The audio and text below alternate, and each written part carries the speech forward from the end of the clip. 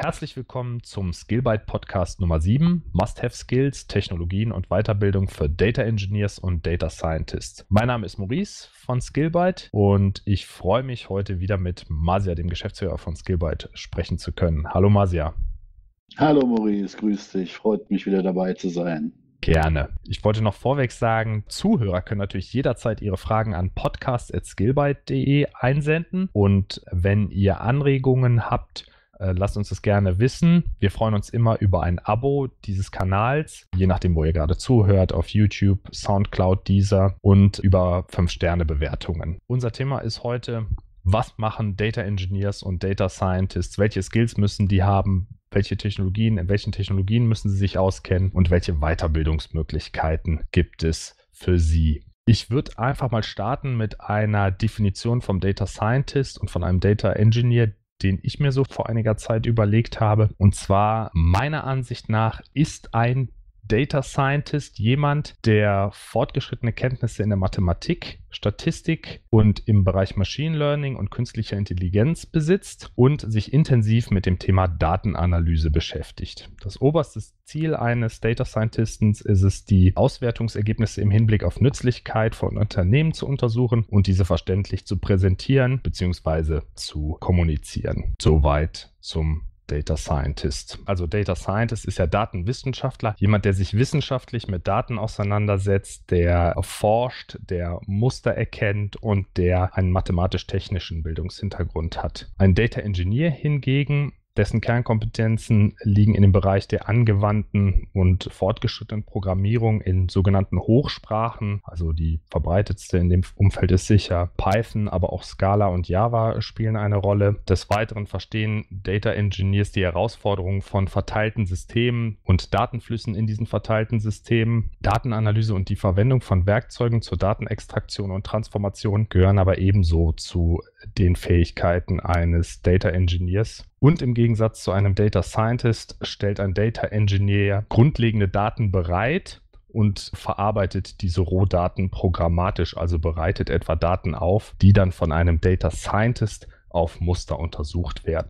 Inwieweit sind denn diese ähm, äh, Bereiche übergreifend? Das heißt, wie viel Data Engineering Know-how muss ein Data Scientist haben und andersherum? Da gibt es natürlich so ein Spektrum, sage ich mal. An dem einen Ende des Spektrums ist der Data Scientist, auf dem anderen Ende äh, vielleicht der Data Engineer. Mhm. Und die überlappenden Skills bewegen sich im Bereich der Datenanalyse. Beide Gewerke bekommen die Aufgabe zum Beispiel, sich gewisse Datenstrukturen anzugucken, zu schauen, eignen sich die Daten für verschiedene Business-Fragestellungen, reichen die Daten aus, sind die Daten rein genug, hat man es mit Sparse Data zu tun, also äh, fehlen Datenpunkte, um ähm, Aussagen treffen zu können. Dieses Thema betrifft auf jeden Fall beide Gewerke. Auch die Programmierung von Tools oder von Abläufen betrifft beide Gewerke, auch wenn ein Data Engineer stärker damit beschäftigt sein wird. Also ein Data Scientist programmiert auch, stellt aber häufig Skripte zusammen, die fertige Libraries hintereinander verschaltet und der Data Engineer wird eher Datenbereinigungen auf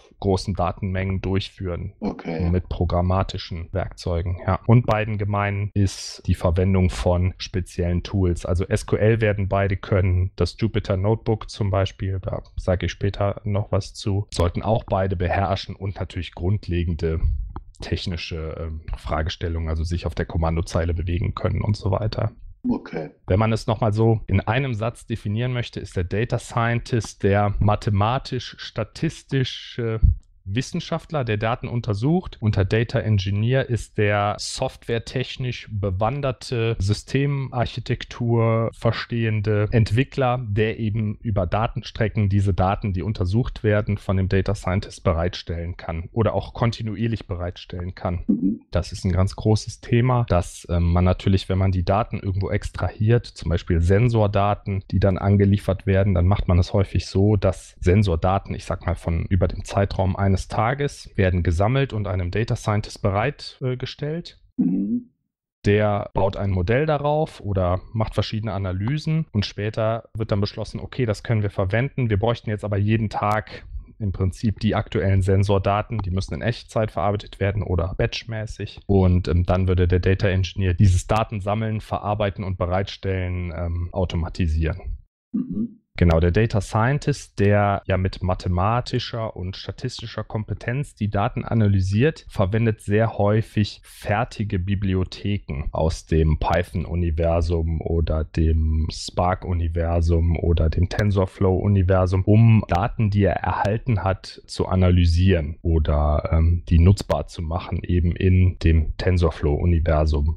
Wenn man Data Scientisten so zuschaut, ist es äh, ist ein sehr großer Anteil dieser Forschung aus ausprobieren, mit verschiedenen Parametern spielen, verschiedene Algorithmen zu verwenden und zu schauen, wie bekomme ich ein Problem in den Griff. Also um das mal etwas plastischer zu machen an einem Beispiel, könnte ich überlegen, ich habe eine Churn Prediction, das sollte man für unsere Zuhörer vielleicht kurz erklären. Da geht es darum, Geschäftsmodelle, wo Kunden Abo-Dienste abschließen. Also zum Beispiel ein Telefonprovider, wo ein Kunde einen Vertrag hat. Jeden Monat wird einzeln abgebucht. Ein Kunde hat sozusagen einen Handyvertrag, einen monatlichen Handyvertrag. Und der Telefonprovider möchte wissen, wann kündigen Kunden. Dann kann anhand von verschiedenen Informationen über diesen Handyvertrag, wie viele Telefonate werden geführt in das eigene Netz, wie viele Telefonate werden in das andere Netz geführt, wo haben die Familienmitglieder eines Kunden ihren Handyvertrag, gibt es verschiedene Indikatoren, dass man sagt, oh okay, mhm. dieser Kunde wechselt wahrscheinlich demnächst, weil wir haben dieses Muster schon 10.000 Male erkannt und in 8.000 Fällen hat der Kunde dann hinterher den Telefonprovider gewechselt gewechselt. Eine Churn Prediction würde sozusagen diese Kunden herausfiltern aus der Gesamtkundenbasis und sagen,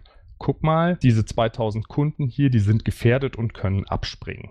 Das wäre ein Fall für einen Data Scientist. Also wie kann ich von der Datenbasis äh, Rückschlüsse darauf ziehen, welche Kunden abspringen? Und da gibt es einige Verfahren. Die mhm. Verfahren setzen unterschiedliche Eingangsdaten voraus. Man kann dann quasi, je nachdem, welche Eingangsdaten vorliegen, das ist natürlich jetzt individuell abhängig von dem Telekommunikationsunternehmen oder der Datenbasis des Telekommunikationsunternehmens, kann man dann quasi verschiedene Algorithmen ausprobieren mit verschiedenen Einstellungen. Und das ist auch so, wie es in der Praxis gemacht wird, dass man im Grunde schaut, Mhm. dass man ein plausibles Modell oder plausible Parameter für ein Modell findet und dann erhält man einen Extrakt, eine Liste von Kunden, die ähm, möglicherweise den Vertrag bald kündigen werden und kann dann eben entsprechend gegensteuern mit Marketingmaßnahmen oder diese Leute anrufen und ein besseres Angebot machen oder nachfragen, warum sie denn möglicherweise unzufrieden sind, wie auch immer. Da gibt es jetzt verschiedene Möglichkeiten, wie man mit diesen Menschen in Kontakt treten kann oder was man da machen kann, je nachdem, was die Zielstellung des Unternehmens Unternehmens ist. Okay. Genau, also so kann man sich das vorstellen. Und ein ganz essentieller Teil der Data Science Spezialisten besteht halt auch in der Visualisierung der ähm, Ergebnisse, die sie ermitteln. Also es reicht nicht nur ein Modell zu trainieren, das wird auf der Kommandozeile gemacht und hinterher purzelt irgendeine Datei raus, die irgendwas vorhersagt, sondern dass man schon auf Basis dieses Modells dann eben Grafiken erstellt, die genau visualisieren oder die genau verdeutlichen, warum kündigen Kunden, wie ist der Schwellwert hier eingestellt, was ist mit Kunden, die genau um diesen Schwellwert liegen, haben wir die zurückgewinnen können, um, sodass es sehr einfach wird, visuell diese ganze Komplexität, die ja in diesem Modell drin steckt, direkt zu erfassen für die Business-Seite. Also, dass der Projektmanager oder der Produktmanager halt schnell erkennen kann, ah, okay, unterhalb dieses oder jenen Grundpreises äh, kündigen Kunden weniger. Oder wenn jemand 50 Telefonate pro Monat führt, der äh, kündigt tendenziell sehr wenig, weil der einfach sein mhm. Telefon nur benutzen will und viel telefoniert. Wenn jemand nur 10 Telefonate führt, der wechselt zum Beispiel häufiger den Vertrag, je nachdem da, wo er den, das beste Angebot bekommt. Äh, dem müssen wir jetzt ein Angebot machen, dass er er bei uns bleibt, wenn wir das wollen. Okay. Dass das direkt visuell dann äh, sichtbar wird. Wen das da genauer interessiert, ich kann einen Link in die Podcast-Beschreibung dazu packen. Da gibt es einige Werkzeuge zur Visualisierung. Ähm, da haben wir mal einen Blogpost äh, geschrieben am Skillbyte-Blog. Also das bekannteste oder naheliegendste Werkzeug ist natürlich äh, Excel mit der Diagrammfunktion. Tableau wird häufig genannt und auch verwendet von vielen Unternehmen. Das hat den Nach das ist sehr, ein sehr mächtiges Tool. Das hat den Nachteil, dass jeder Nutzer eine eigene Lizenz dafür benötigt mhm. und äh, man sich einarbeiten muss. Es gibt eine Desktop-Version und es gibt eine Web-Browser-Version. Ein weiteres verbreitetes Tool zur Datenvisualisierung ist Microsoft Power BI. Viele Unternehmen haben dafür schon Lizenzen abgeschlossen. Mhm. Das ist jetzt sozusagen die Visualisierung für die Business-Seite. Data Scientisten selber werden im Jupyter Notebook sich überwiegend bewegen und dann Visualisierungen zum Beispiel mit Matplotlib oder anderen Plotting Libraries darstellen lassen, weil diese Tools einfach schnell verfügbar sind und sich gut mit den Arbeitswerkzeugen eines Data Scientists ansprechen lassen. Man kann sich sehr schnell okay. Graphen visualisieren lassen oder um erstmal so ein Grundverständnis zu kriegen. Dann gibt es noch weitere Tools. Ich zähle die gerade mal auf. Also ein sehr mächtiges Werkzeug ist auch noch Gephi. Das hatte ich dir ja auch schon mal gezeigt. Das ist ja. dann ganz besonders wertvoll, wenn man Graphenstrukturen visualisieren möchte. Also du hast dann Landkarten von ähm, Themen oder Begriffen oder du hättest jetzt, um beim Beispiel der Churn Prediction zu bleiben, könntest du Cluster von Kunden zeigen, die sehr, sehr wahrscheinlich nicht wechseln werden und Cluster von Kunden, die sehr, sehr wahrscheinlich wechseln werden. Die könntest du irgendwie einfärben und da durch diese Größenverhältnisse und durch die Verknüpfung untereinander kannst du halt sehr, sehr viele Features auf einmal mhm. visualisieren. Also wie groß sind die Cluster, könnte bedeuten, wie viele Kunden sind da jeweils drin, welche Farbe haben die. Das könnte bedeuten, wie wechselwillig sind die Kunden und wie viele Verbindungen haben die. Das heißt zum Beispiel, wie oft telefonieren diese Menschen oder wie viele Daten ihres Datenvertrages benutzen die. Okay, okay. Dann gibt es noch so JavaScript Library D3.js oder Chart.js. Das sind einfach Open Source JavaScript Bibliotheken, wenn du auf HTML-Webseiten Graphen anzeigen lassen möchtest. Datenvisualisierung zur Interpretation der Ergebnisse ist absolut essentiell für einen Data Scientisten. Weiteres Kernthema ist das Modelltraining und die fortlaufende Ergebnisauswertung. Also es ist auch so, als Data Scientist, äh, du trainierst einmal ein Modell, drehst an den ganzen Parametern, bis du ein gutes Ergebnis hinbekommst. Also im Beispiel der Telekommunikations Churn Prediction würdest du jetzt ein plausibles Modell trainieren. Dann würdest du sagen, okay, das und das und das sind die Kunden, die wahrscheinlich abspringen dann würdest du die Kunden versuchen zu halten und dann würdest du nach einem Monat oder so auswerten und sagen, okay, bei welchen Kunden hat es denn jetzt geklappt, bei welchen hat es nicht geklappt und je nachdem, wie dieses Ergebnis ausfällt, würdest du das Modell halt nachtunen und diesen Kreislauf würdest du immer wieder beschreiten, um das Modell möglichst genau an die jeweilige Situation immer anzupassen, eben solange sich das wirtschaftlich noch lohnt. Okay. Und die dritte Kernkompetenz des Data Scientisten ist halt eben auch die Kommunikation von Ergebnissen und die ja doch etwas abstrakten mathematischen Modelle da in klare Aussagen zu verwandeln. Also, dass man wirklich sagt, okay, das sind die Kunden, die kündigen, weil es woanders einen günstigeren Vertrag gibt oder es woanders mehr Daten gibt fürs gleiche Geld oder weil die ganze Familie zu einem anderen Provider wechselt, wechselt auch der eine, der eigentlich zufrieden ist, wechselt halt mit, weil die ganze Familie dann nur noch eine Rechnung bekommt. Mhm. Das sind auf jeden Fall die Kernskills eines Data Scientisten. Diese Visualisierungsgeschichte ist das äh, im Prinzip, wenn man, ich sag mal, diese Insights gewinnt. Das ist ja das eine, sich zu überlegen, okay, wie kann ich diese Insights gewinnen? Das andere ist tatsächlich äh, Visualisierung. Also wie kann ich es meinem Kunden, der jetzt vielleicht nicht so, äh, ich sag mal, auf einer Business-Ebene unterwegs ist, das, was ich herausgefunden habe, auch verständlich rüberbringen kann. Das ist schon irgendwie eine Wissenschaft für sich. Ne? Genau. Wir hatten in der letzten Podcast-Episode haben wir von Full-Stack-Entwicklern gesprochen. Auch hier im Data Science-Bereich hast du natürlich eher Leute, deren Kompetenz ganz klar auf diesem Forschungsbereich liegt ja. und Leute, deren Kompetenz auf diesem Kommunikationsbereich liegt. Mhm. Aber klar, ganz wichtig ist, wenn du forschst und tolle Konzepte entwickelst, tolle Modelle trainierst, die dem Geschäft viel bringen können, aber es nicht entsprechend kommunizierst, wirst ja. du sehr große Probleme haben, entsprechend diesen Wert zu generieren. Mhm. Und vielleicht ist jemand, der dann technisch oder von der Wissenschaftsseite nicht so stark ist, aber besser kommuniziert, kann dann mehr Wert auch wirklich abschöpfen als du, wenn trotz, dass du wissenschaftlich besser bist. Ja, das glaube ich. Also Kommunikation und Visualisierung noch nicht mal, weil da gibt es sehr viele Tools und als Data Scientist bist du auch selber äh, darauf angewiesen, dir die er Zwischenergebnisse zu visualisieren. Das heißt, du musst, verstehst ja selber, mhm. wie du mhm. zu deinem Ergebnis kommst und kannst das auch anderen Menschen zeigen. Mhm. Aber Kommunikation und dann wirklich zu sagen, das und das und das habe ich herausgefunden, das bedeutet das und das und das und das für uns. Also wirklich dann die Forschung und die Business-Seite zusammenzubringen, zu verknüpfen und klare Aussagen daraus zu formulieren, das ist eine schwierige Sache und auch wenn man da erfolgreich ist, äh, hat man einen riesen Vorteil. Ja, auf jeden Fall. Mhm. Okay.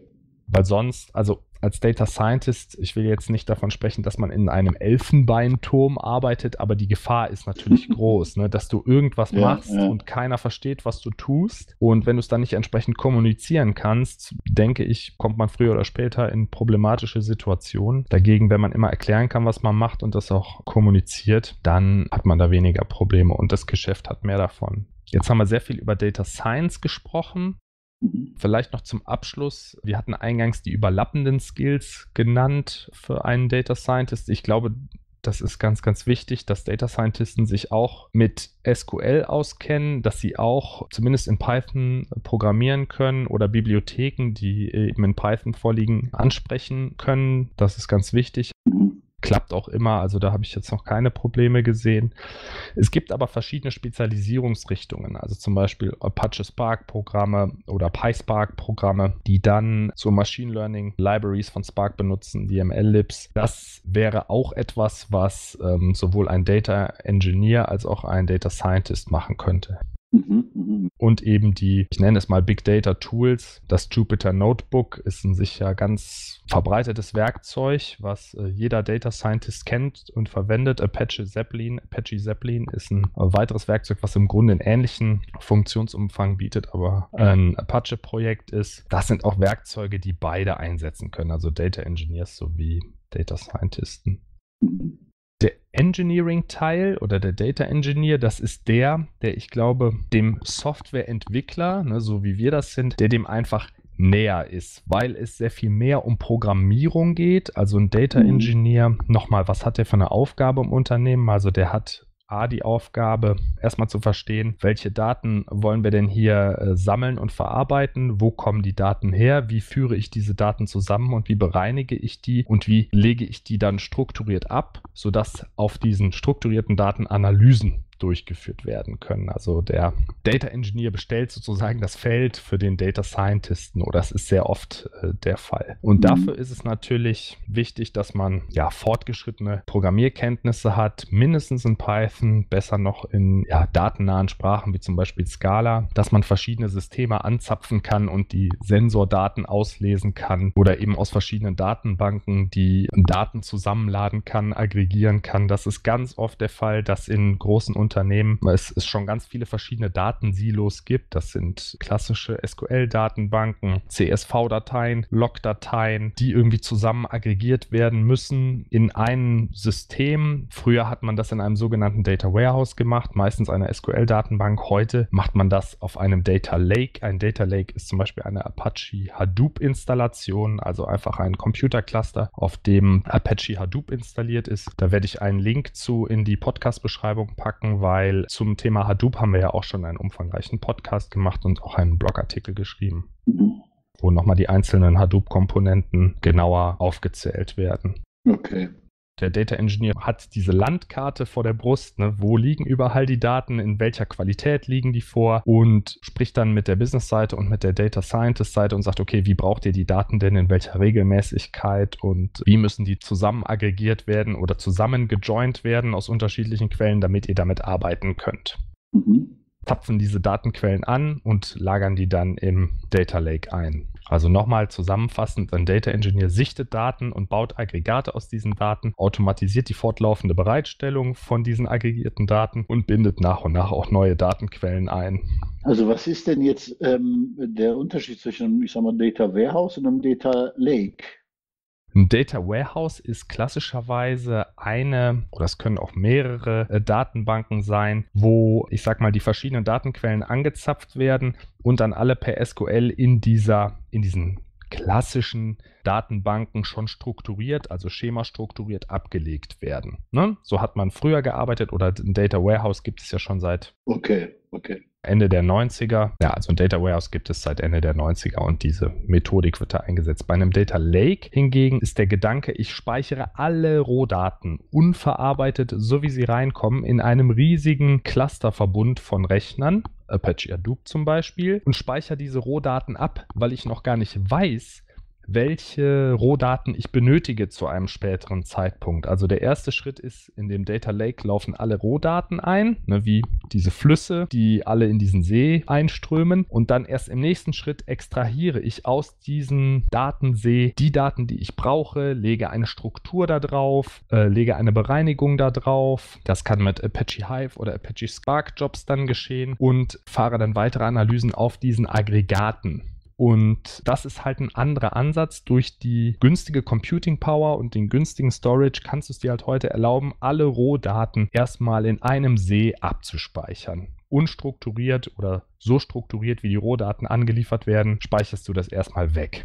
Und das ist der Unterschied zwischen einem Data Warehouse und einem Data Lake. Data Lake, Riesensee aus unstrukturierten Rohdaten, die dann in nachfolgenden verarbeitenden Schritten strukturiert werden und ein Data Warehouse, da musst du quasi dir schon Gedanken machen über die Struktur und was du abspeichern möchtest, wenn du diese Rohdaten da einfügst. Und du hast dann tendenziell schmeißt du Daten weg bei diesem Schritt, die du vielleicht, du weißt es nicht, aber die du vielleicht noch für die eine oder andere Analyse benötigen würdest. Okay, verstanden.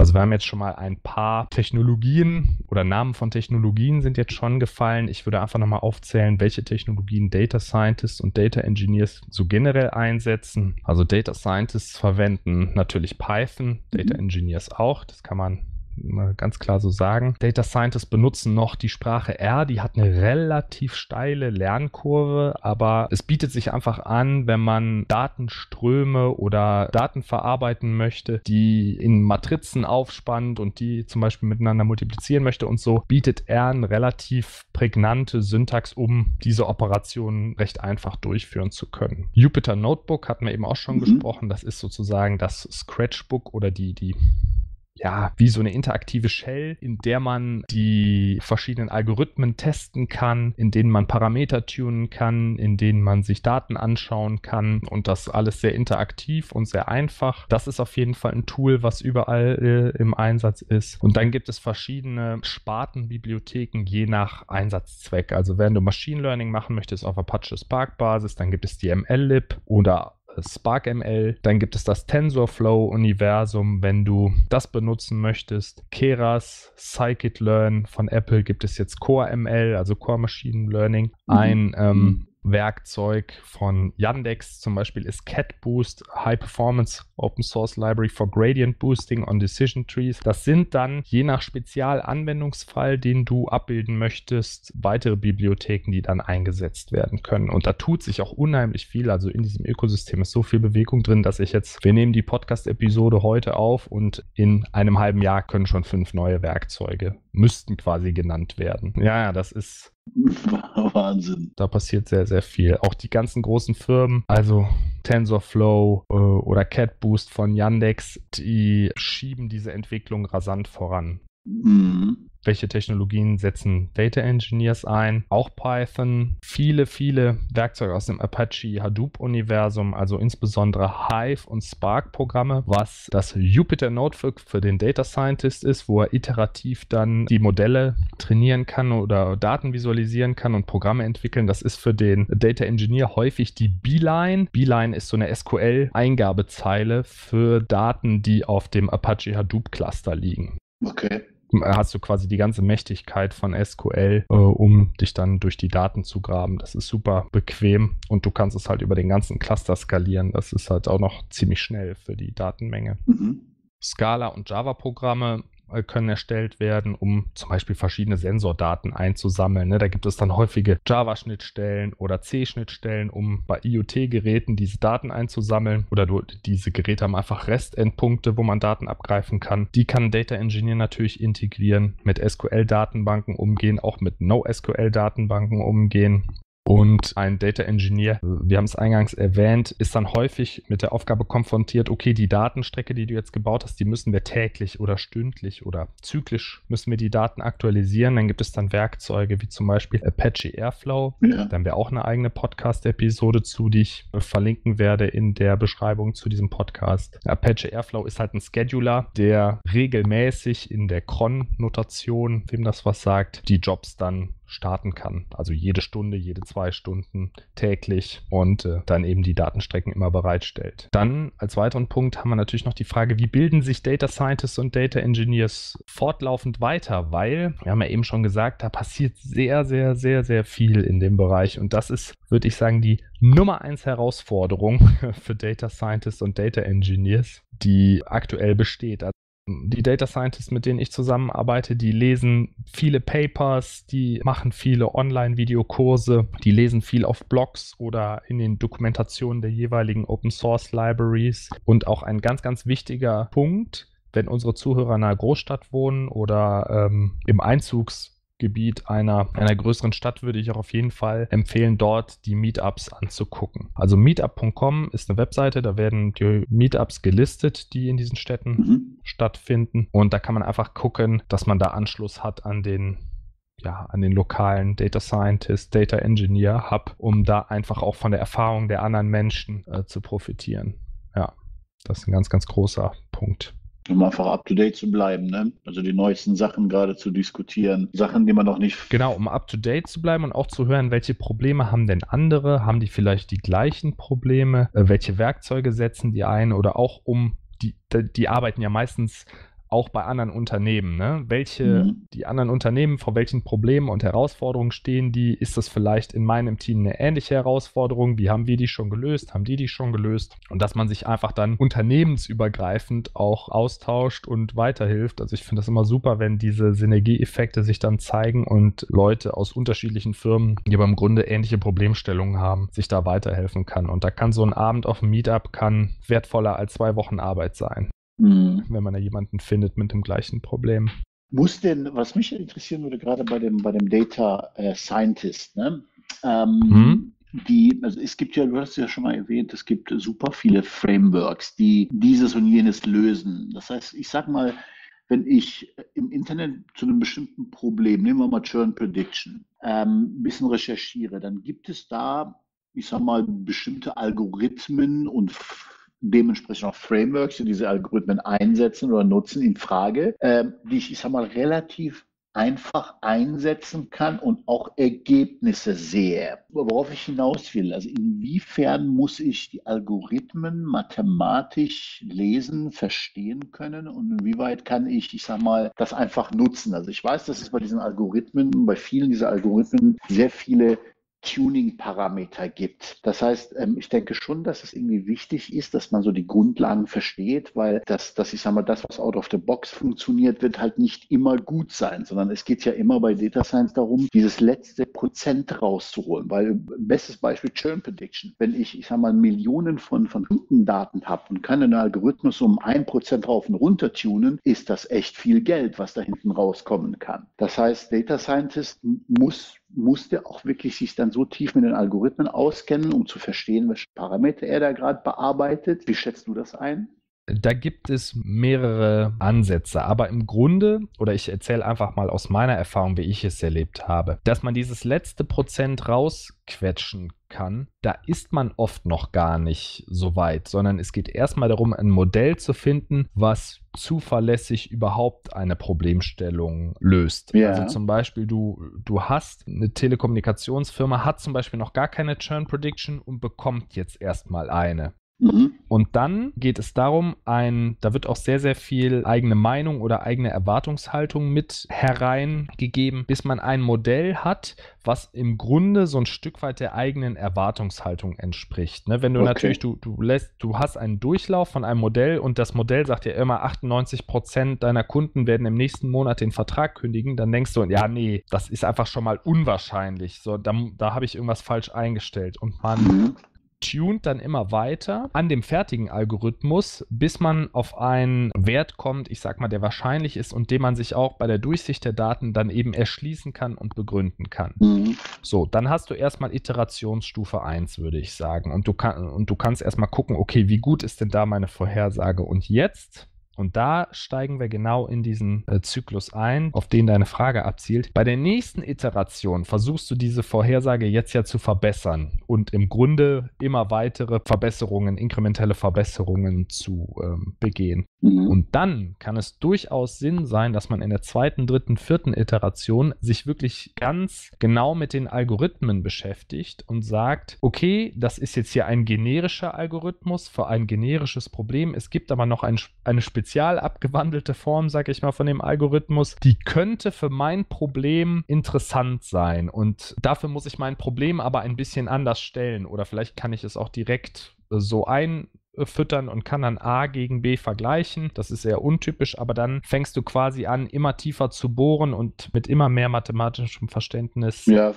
dein Ergebnis zu verbessern. Ja. Aber sehr häufig ist erstmal dieser Schritt von 0 auf 1, also keine Churn Prediction oder keine Prediction überhaupt hinzu, okay, wir sagen jetzt etwas voraus, was auch plausibel ist und was wir messbar verbessern können. Weil natürlich ist es so, dass man häufig die Ergebnisse auch so ein bisschen, das Ergebnis so ein bisschen erwartbar ist, sag ich mal. Wenn eine Familie fünf Jahre lang bei einem Handynetz-Provider war und jetzt nach und nach alle wegwechseln, das ist natürlich auch der Mensch, ne, wenn du jetzt komplett ohne Machine Learning da rangehen würdest oder Churn Prediction, dann würdest du auch dir denken, hm, okay, da ist auf jeden Fall hat sich was verändert ja. und das könnte potenziell dazu führen, dass derjenige abspringt. Mhm. Aber das ist ja jetzt auch ein einfaches Beispiel, aber es gibt sehr komplexe Anforderungen. Da kannst du eben nicht sagen, oder, oder ist es nicht so einfach möglich, dass du als Mensch sehen kannst, ah, okay, das ist der Grund, warum jemand mhm. geht oder das ist der Grund, warum jemand bleibt.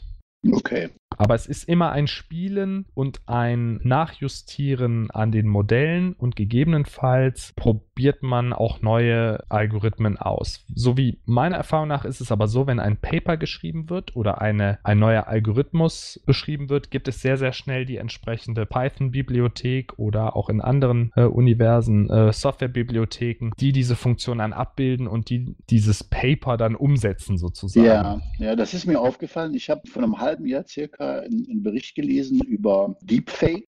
Mhm. Und irgendwie jetzt findest du schon Frameworks dafür, wo du das quasi selber machen kannst in Python oder C. Ne? Mhm.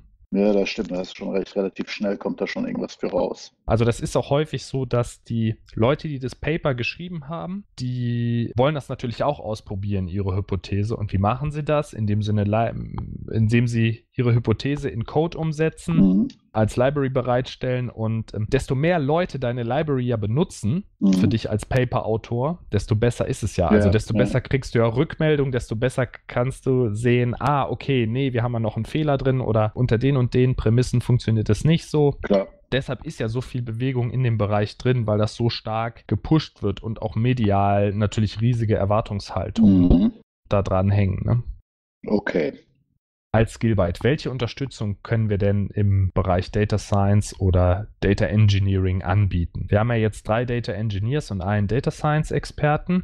Und unsere bisherigen Kundenanforderungen, das sind halt häufig komplexe Problemstellungen, also genau so wie die Churn Prediction eben aus dem Beispiel. Der Kunde kommt zu uns und sagt, hör mal, äh, wir würden gerne wissen, welche Kunden kündigen oder hör mal, wir würden gerne eine Reichweiten-Forecast haben zu ähm, bestimmtem Buchungsverhalten, äh, zu bestimmten Jahreszeiten. Also sehr, sehr High-Level-Anfragen. Mhm. Ne? Die, da wird noch nicht der Manager oder Projektmanager kommt selten direkt zu uns und sagt, ja, wir haben es mit der Library in dem und dem Grad schon probiert und so weiter, sondern wirklich diese High-Level Fragestellungen erreichen uns. Und wir gehen dann so vor, oder unsere Data Engineers gehen dann so vor, dass wir erstmal eine Datenanalyse machen, gucken, sind alle notwendigen Daten da, vorhanden in dem Unternehmen oder müssen wir noch irgendwo Daten erheben? Wie sieht das von der Infrastruktur aus? Also gibt es Data Warehouse Systeme oder Data Lakes, auf denen wir direkt aufsetzen können? Und im Grunde, welche Daten brauchen wir, um die Problemstellungen anzugehen? Welche Infrastruktur brauchen wir, um die Problemstellung zu lösen? Und welches Wissen ist erforderlich, um sozusagen aus den Daten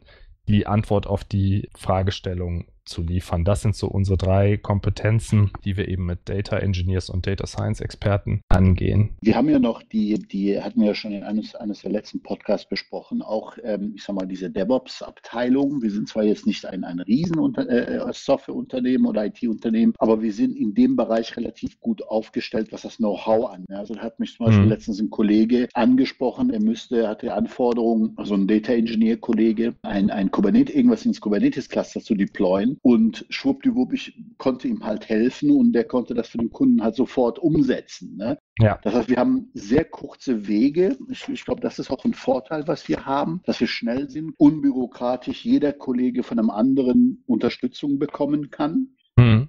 Und zwar in jede Richtung. Ne? Ob der DevOps-Kollege äh, Fragen Richtung Data Engineering hat, ähm, hör mal, wie funktioniert das mit dem ähm, Hadoop-Cluster oder Spark-Cluster oder auch andersrum. Ne? Das ist halt einer unserer Stärken.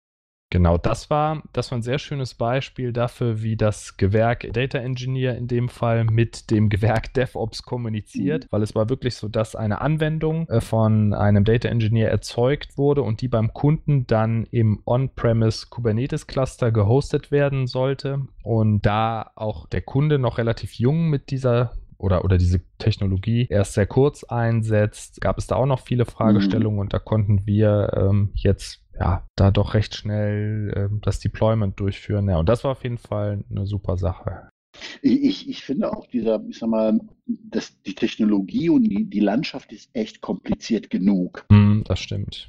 Und ähm, ich, ich, es ist super wichtig, finde ich, dass wir, ich sag mal, als Beratungshaus so diesen, diese globale Übersicht haben, was wie zusammenspielt und wo man eventuell Ressourcen braucht, wo man eventuell noch äh, dies oder jenes braucht, dass wir nicht einfach ein Teil umsetzen und sagen, so, ab jetzt keine Ahnung. Mhm. Ne? Kümmere dich mal selbst um dein Problem. Ne? Mhm wir, wir haben diesen Anspruch, dem Kunden ganzheitlich zu helfen. Und selbst wenn wir ihn einfach nur in die richtige Richtung stoßen und sagen, pass auf, da und da, dies und jenes Tool brauchen wir. Wir haben jetzt selber keine Ressourcen oder kennen uns im Zweifel auch vielleicht gar nicht damit aus, aber wir wissen, wie sie alles ineinander greifen und welche Technologie wofür eingesetzt werden muss und können zumindest, wenn wir selber nicht weiterhelfen können, in die richtige Richtung stoßen. Das stimmt. Also im Data Science und Data Engineer Bereich haben wir eben gesagt, passiert sehr viel in sehr kurzer Zeit.